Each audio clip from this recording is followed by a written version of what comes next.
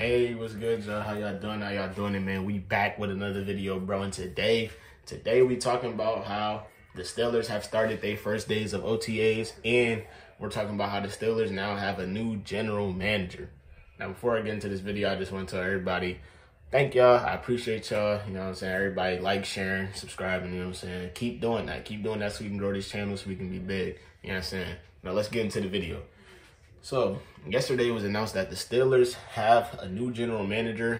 We've learned that Kevin Colbert, this was going to be his last year coming into this year. His last big take he was going to have in his general manager role was going to be the draft. And obviously, he got us through that in free agency. And honestly, I think he did great for his last draft. You know, we got Kenny Pickett, George Pickens, Calvin Austin, DeMarvin Leal. We got guys. He brought uh, Cam Heyward's brother, you know.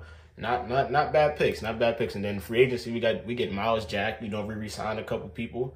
You know, um, but yeah, Omar Khan is now our is officially our new general manager. Now, yes, he is an in-house hire, but this is an in-house hire that I don't have a problem a problem with. He is, or he was, the former vice president for our team. He was the vice president, and now he's been promoted to general manager. Now, I don't got too much to speak on this for because I don't know too much about Omar Khan, so I'm not going to act like I'm about to come here and just, you know, have a whole bunch of words to say for Omar Khan. But to me, I feel like this is a pretty good uh, general manager signing, you know. We're going to see what it's about. Hopefully, he can re-sign a couple bulls for us. You know, Minkah still need a contract. Diontae needs a contract. Hopefully, he can get all that done since he'll have the head duties in the front office now. And, you know, hopefully he can be that general manager to try to pull in more free agents for the Steelers. Try to try to get the great draft picks, you know, try to take shots in the draft, you know. But to me, it's not that big of a deal to me. Either way, we had to get a general manager. Uh, Kevin Colbert, he did a great job while he was here. So shout out to him for having an amazing career and helping us out through all the years. I believe he was here since like I don't know. Two, I, I don't even know if I was born when he was here. I'm not gonna lie. Moving on to OTAs, the Steelers started their first day of OTAs yesterday. Back. a time? What are you talking? 13? Wow.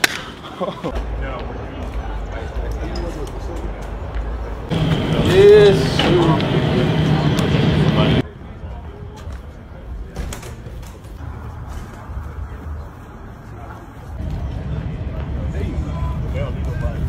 Hi.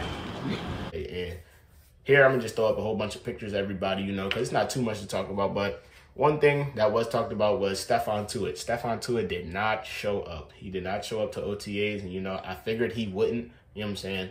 Um, but we did kind of get some some insight from Cam Heyward. Cam Heyward said he's talked to Stephon Tuitt, and he said he's saying Stephon Tuitt's getting better. You know, he's he he expects him to be here, maybe not now, but later in OTAs and maybe later before the season starts. So that's good news. Hopefully we can take Cam Heyward's word for it. You know, I feel like Cam Heyward's the team leader. He's the he's the vocal leader of the team. So I'm pretty sure Cam Heyward got in touch with his defensive buddy Stephon Tuitt, and I'm pretty sure Stephon Tuitt has talked to Cam Heyward. So I'm gonna take Cam Heyward word for it. Hey, maybe Stephon Tuitt will show. We might see Stephon Tuitt, but.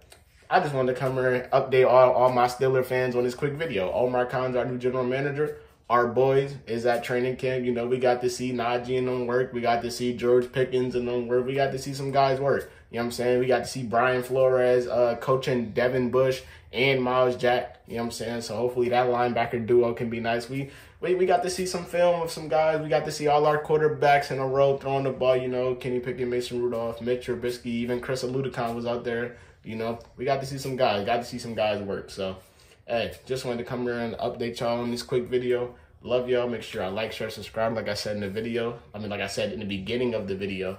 Subscribe, subscribe, subscribe, subscribe so we can grow the channel. You know what I'm saying?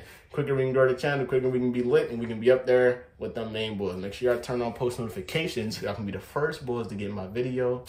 Once again, I love y'all. Everybody, please stay safe because the world is crazy. The world is crazy. You know, it's a, it's been a lot of mass shootings and all that going on. So everybody, just please stay safe. Keep y'all kids safe. Keep y'all family safe.